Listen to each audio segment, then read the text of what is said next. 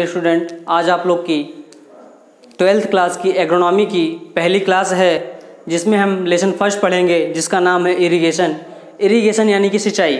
सिंचाई क्या है? तो फ़सलों को कृत्रिम ढंग से पानी देने की क्रिया ही सिंचाई है.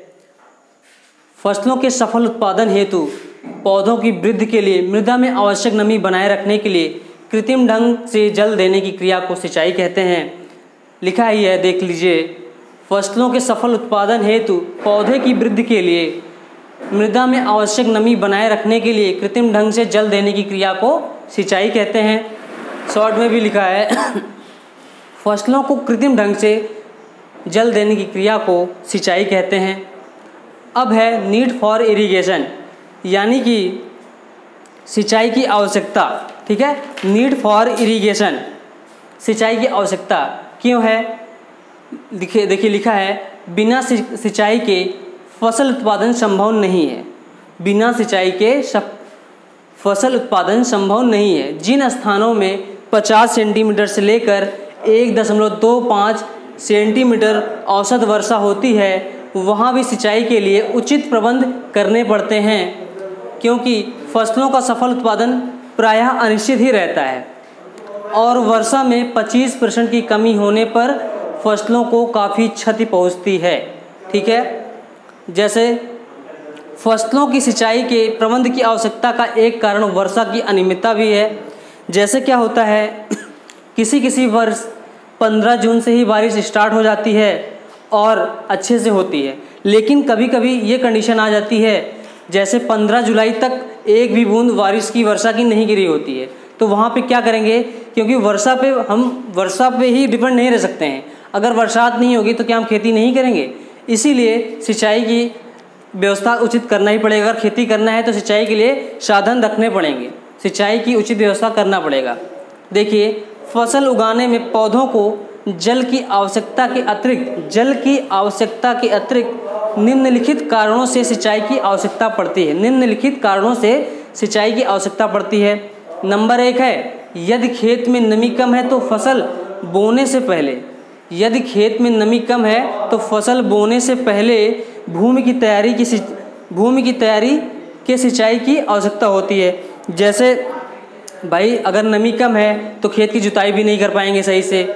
और जो है, मिट्टी मुलायम नहीं होगी, जिससे बीज का अंकुरण भी सही ढंग से नहीं होगा। अगर पर्याप्त नमी होगी, तभी बीज का अंकुरण ग्रो सही से करेगा, निकलेगा, ठीक है? नेक्स्ट है, फ़सलों को पालों से बचाने के लिए।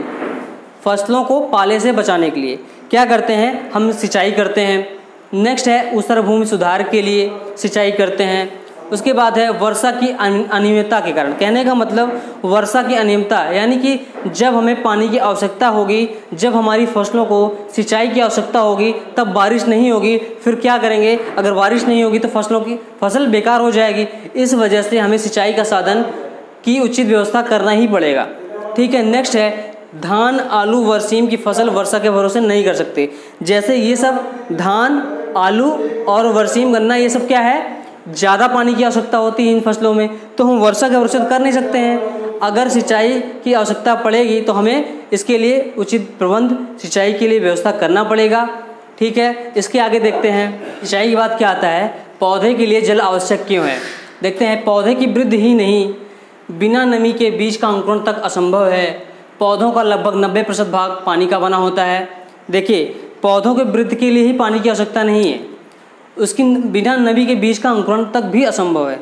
भाई, जब पौधे मतलब नमी नहीं होगी तो बीज का अंकुरण कैसे होगा? इसीलिए पौधे के बढ़ने के लिए ही सिंचाई की आवश्यकता नहीं है। पौधे के बढ़ने के लिए ही जल की आवश्यकता नहीं है।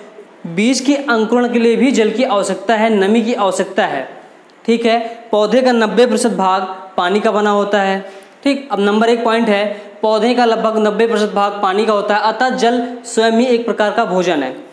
पौधे का नब्बे प्रतिशत भाग पानी का बना होता है। अतः जल यानी पानी पौधे का एक प्रकार का खुद का भोजन है। ठीक है? दूसरा है, पानी पोषक तत्वों के लिए घोलक यानी सॉल्वेंट और वाहक यानी कैरियर का काम करता है, केवल घोलता ही नहीं, अपित इन द्रव्यों को पौधे के विभिन्न अंगों तक पहुंचाता भी है। जल जो है, भोजन को पहुंचाता ही नहीं, यानी घोलक और वाहक का ही कार्य नहीं करता, भोजन को घोलता ही नहीं है। ये बल्कि उसके विभिन्न अंगों तक पौधों के पहुंचाता भी है, ठीक है? नेक्स्ट है, पौधों के भीतर पहुँचने पर पानी नए यौगिक का बनाने का काम करते हैं। जब पौधे में जल या पानी पहुँचता है तो एक नए यौगिक बनाने, बनाता है, ठीक है? नेक्स्ट है, पानी वाष्प वाष्पोत्सर्जन यानी ट्रांसपारेशन क्रिया के लिए भी आवश्यक है। पौधे के लिए जल जो है वाष्पोत्सर्जन क्रिया के लिए भी आवश्यक है। नेक्स्ट है, भूमि में रहने वाले मित्र जीवाणु पानी के अभाव में नष्ट हो जाते हैं। अगर जो भूमि में हमारी खेती के लिए जो लाभदायक हैं, वो जो जीवाणु हैं, अगर पानी नहीं मिलेगा तो वो ख़त्म हो जाएँगे, जिससे हमें नुकसान होगा, हमारी फ़सलों को नुकसान होगा। ठीक है? नेक्स्ट है, जैसे भूमि में सॉरी खेत में आश्रय लेने वाले फ़सलों के लिए हानिकारक कीड़े मकोड़े। जो खेत में अपना घर बना लेते हैं कीड़े मकोड़े, जो हमारी फ़सलों के लिए नुकसानदायक है, हानिकारक है, वो जो है पानी पड़ने पर या सिंचाई होने पर या जल मिलने पर वो नष्ट हो जाते हैं। जैसे दीमक, ठीक है? दीमक बहुत खतरनाक है, अपनी फ़सलों के लिए हानिकारक है। इसीलिए अगर पानी मिल जाएगा तो दीमक अपने आप नष्ट हो जाएगा, ठीक है? नेक्स्ट है पौधे अपना भोजन द्रव के रूप में ग्रहण करते हैं। पौधे अपना भोजन द्रव के रूप में ग्रहण करते हैं। इसलिए पौधों के खाद तत्वों को घोल के रूप में बनाने के लिए पानी की आवश्यकता होती है। ठीक है? द्रव के रूप में बनाते हैं तो हमें पौधों को पानी की आवश्यकता होगी, जिससे वो घोल के रूप में बना पाएँ। ठीक है? अब नेक्स्ट आता है, सिंचाई जल के समुचित प्रयोग के लिए तीन बातें जानना आवश्यक हैं। वो कौन कौन सी हैं? वो तीन बातें कौन कौन सी हैं? सिंचाई कब की जाए? सिंचाई कितनी की जाए? सिंचाई किस प्रकार की जाए? अगर हमें पता ही नहीं होगा कि सिंचाई कब की जाए और कितनी की जाए, किस प्रकार की जाए, तब तो फ़सल हमारी बर्बाद हो जाएगी, यानी नष्ट हो जाएगी। ठीक है? जैसे कब की जाए में है, जैसे पत्तियाँ मुरझा रही हैं और पत्तियाँ पीली पड़ रही हैं तो सिंचाई कर दी जाए। ठीक है? अब नेक्स्ट है, सिंचाई कितनी की जाए? अगर हमें सिंचाई के बारे में पता नहीं होगा और ज़्यादा सिंचाई कर देंगे तो भी हमारी फ़सल क्या होगी? सड़ जाएगी, यानी नुकसान ख़त्म हो जाएगी, ठीक है? सिंचाई कितनी, जितनी आवश्यकता हो, यानी कि सिंचाई की जितनी आवश्यकता हो, सिंचाई उतनी ही करें, न कम, न ज़्यादा, ठीक है? अब नेक्स्ट है, सिंचाई किस प्रकार की जाए? अगर हमें पता ही नहीं होगा सिंचाई कैसे करनी है, किस प्रकार करनी है तो हम कर नहीं पाएँगे। जैसे फ़सल, जैसे खेत है, अपना उबड़ खाबड़ है। तो उसके लिए क्या करेंगे? पहले तो खेत को समतल कर लेंगे, नाली सही कर लेंगे, नाली की साफ़ सफ़ाई कर लेंगे, नहीं तो नाली में जो खरपतवार जमे होते हैं वो खेत में चले जाएँगे, जिससे हमारे खेत में भी खरपतवार हो जाएँगे। और नाली साफ़ सुथरी रहेगी, सही रहेगी तो पानी इधर उधर वेस्ट नहीं होने पाएगा, सीधे खेत में जाएगा। और समतल होगा तो बराबर मात्रा में पानी सब पूरे खेत को मिलेगा। अदरवाइज़ अगर एक जगह गड्ढा ऊँचा है, नीचा है तो पानी जहाँ नीचा होगा, वहाँ ज़्यादा हो जाएगा, ऊंचाई पर पानी पहुँच ही नहीं पाएगा। तो हमारी फ़सलों को जितनी पानी की आवश्यकता है वो पूरी तरह से मिल ही नहीं पाएगी तो मतलब नहीं होगा कोई सिंचाई का। इस वजह से खेत समतल भी होना चाहिए, नाली साफ़ सुथरी होनी चाहिए, ठीक है? अब नेक्स्ट है रिसोर्सेज ऑफ़ नेचुरल वाटर यानी कि भूमि के प्राकृतिक जल स्रोत, जो नेचुरल रूप से पानी मिलते हैं भूमि को। जैसे पहला तो वर्षा है, दूसरा है वायुमंडलीय जल, तीसरा है बाढ़, चौथा है भूमिगत जल। वर्षा क्या है? वर्षा आप लोग को पता ही है, पर्याप्त मात्रा में होनी चाहिए, ठीक है? वायुमंडलीय जल, ये क्या है? वायुमंडलीय जल जैसे कोहरा, ठीक? कोहरा पड़ता है, शीत पड़ती है और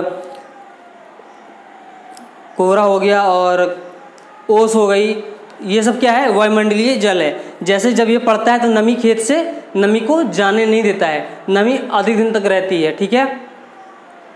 नेक्स्ट है बाढ़। जैसे बाढ़ से कैसे करेंगे? बाढ़ वो है जैसे कि बाढ़ खूब आ जाई आ गई और पानी को आ, किसी एक जगह या किसी तालाब में या फिर रिस्क कर भूमि के नीचे चला जाता है। इससे भी क्या होता है बाद में पानी वाटर लेवल अच्छा हो जाता है तो पानी की सिंचाई खेत की सिंचाई कर लेते हैं। नेक्स्ट है भूमिगत जल द्वारा। यानी भूमिगत जल जो भूमि के अंदर है उसमें से पानी निकालने के लिए खेत की सिंचाई करते हैं जैसे नलकूप ट्यूबवेल द्वारा पानी खेत की सिंचाई करते हैं पानी निकाल कर ठीक है?